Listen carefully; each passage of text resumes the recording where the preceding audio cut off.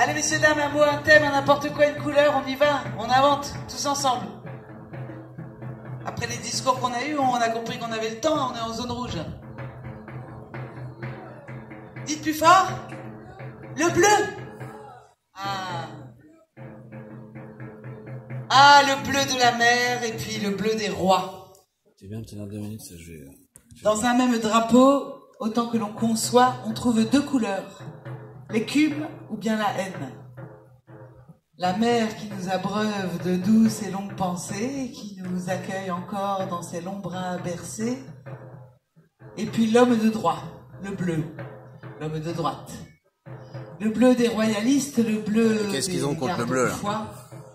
Le bleu qui nous dit tout et puis même son contraire, qui nous dit. Gardez tout, l'économie est fière de naître malgré tout. Après nous, pauvres air, après le 15 mai, on retournera à l'usine Bleu. pour donner encore corps toujours à la vermine. Mais si le bleu de la mer pouvait lutter encore, si le bleu de nos soirs doux et sans remords, le long des longs et lacs, et le long de la mer, le long de tout étang, le long de nos prières, un bleu comme on n'en voit même pas en Papéchine.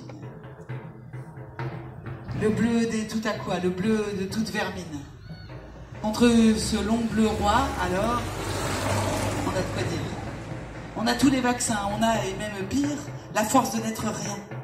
Face à ce grand bleu dur, on pourra tous ensemble être comme un saint mûr qui donne, qui reconstruit, qui lutte et qui espère, et alors, bleu des rois, vous n'êtes que chimère. Et le bleu du Macron ne sera que fausse prière. À vos ordres, à nos mères, on a l'écume pour soi. Bravo